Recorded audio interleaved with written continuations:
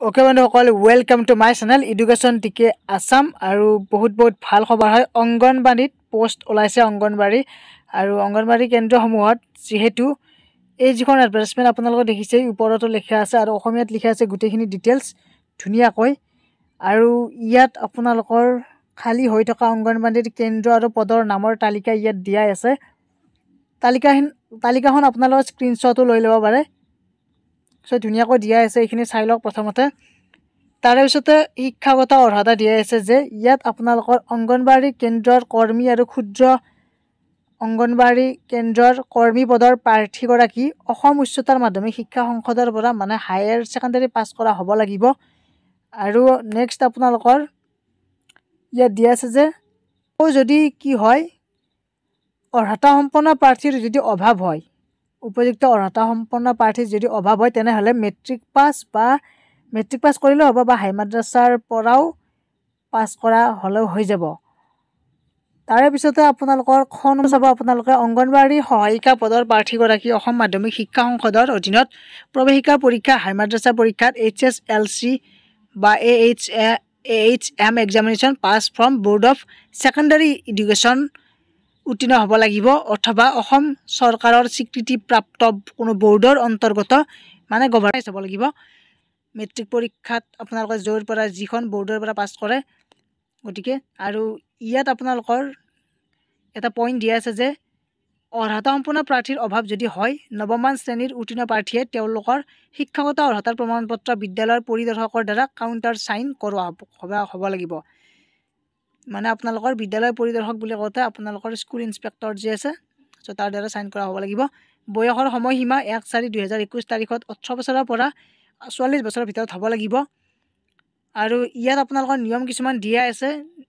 ইয়াত আপোনালোকৰ প্ৰাৰ্থীগৰাকী স্থায়ী বাসিন্দা হ'ব লাগিব আমাৰ অসমৰ। আৰু লগতে নেক্সট আপোনালোকৰ স্থায়ী বাসিন্দাটো হ'ব লাগিব লগতে সংশ্লিষ্ট গাঁও বুঢ়া পঞ্চায়তৰ সভাপতিৰ পৰা প্ৰমাণ পত্ৰ দাখিল কৰিব লাগিব। বাসিন্দা যে তেওঁ তাৰ পৰা এখন প্ৰমাণ আনিব লাগিব। নিজৰ বাসিন্দাৰ তাৰমানে প্ৰমাণ দিব লাগিব।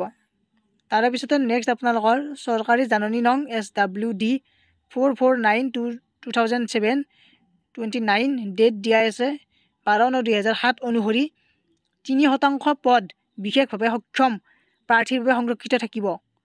মানে যিখিনি পি ডাব্লিউ ডি বুলি ক'ম আমি তাৰ কাৰণে তিনি শতাংশ থাকিব। তাৰে পিছতে নেক্সট প্ৰাৰ্থীসকল মাতৃ আৰু শিশুৰ কল্যাণৰ হকে নিষ্ঠা সহকাৰে কাম কৰাৰ প্ৰতি আগ্ৰহী হ'ব লাগিব।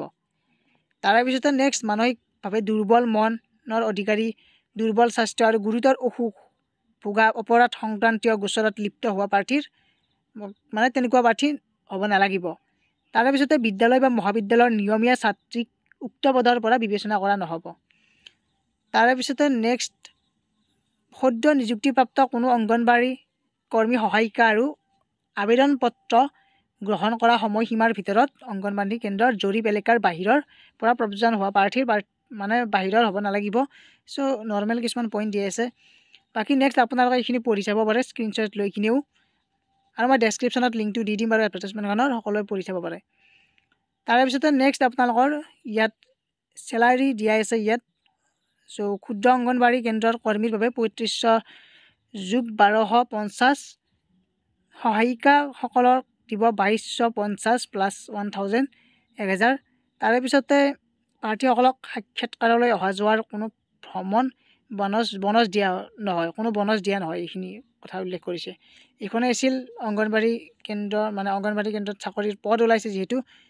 এইখনে এডভাৰটাইজমেণ্ট আৰু আগন্তুক মই এডভাৰটাইজমেণ্ট হওক বা বা বেলেগ এডুকেশ্যন ৰিলেটেড যিমানবোৰ আপডেট আহি থাকে মই আপোনালোকক প্ৰদান কৰিম আৰু চেনেলটো ছাবস্ক্ৰাইব কৰি বেল আইকনটো প্ৰেছ কৰি ৰাখিব তেতিয়া আপডেটবোৰ পাই থাকিব। আজিলৈ ইমানেই ধন্যবাদ। Thank U